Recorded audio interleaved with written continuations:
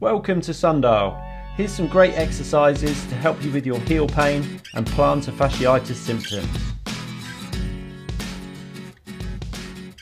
Using the tennis ball to lightly release tension underneath the foot, paying particular attention to the arch and the midfoot.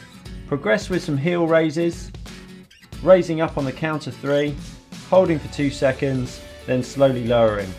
Progressing with a towel underneath your toes, remembering that low levels of pain are to be expected.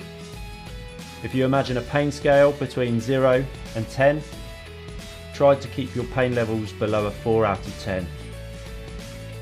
Use these stretches to lightly release and help with flexibility around the supporting structures.